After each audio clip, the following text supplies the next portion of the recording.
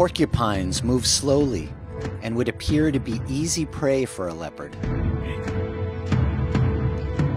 But this mother and father have formed a moving shield to protect their young.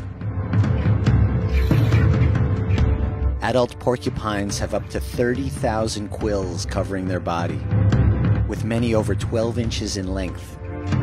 They are sharp, easily shed, and difficult to remove, becoming embedded in their attacker's skin.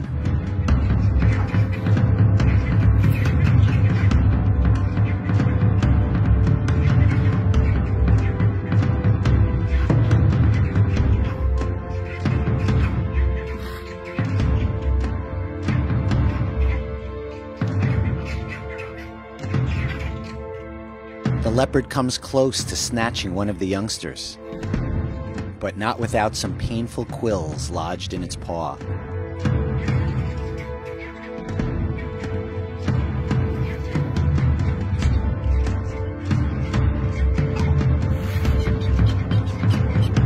Protecting our young is one of the strongest instincts in the animal kingdom.